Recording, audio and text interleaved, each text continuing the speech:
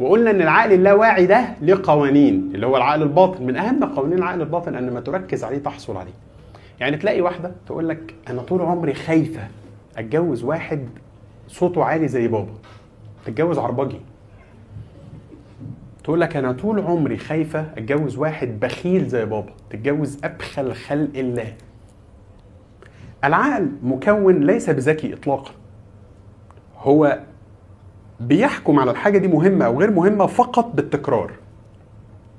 فإذا ما تكررت الفكرة دي كتير خايف اتجوز بخيل خايف اتجوز بخيل خايف اتجوز بخيل يتخيل العقل إن دي فكرة مهمة ويشتغل على تنفيذها فتتجوز واحد بخيل. تشوف الخازوق المعتبر. طب أنت مش واخد بالك من كده؟ لأن العقل لا يقبل صيغة النفي. يعني مثلا تيجي الطالب يقول لك إيه؟ يقول لك أنا خايف أسقط. العقل لا يقبل صيغة النفي. فبيشيل كلمة خايف أو أنا مش هسقط. فبيشيل كلمة مش ويترجمها إيه؟ أنا هسقط. بس خلاص. فلا شعوريا بتلاقي كل حاجة مسخرة انه يفشل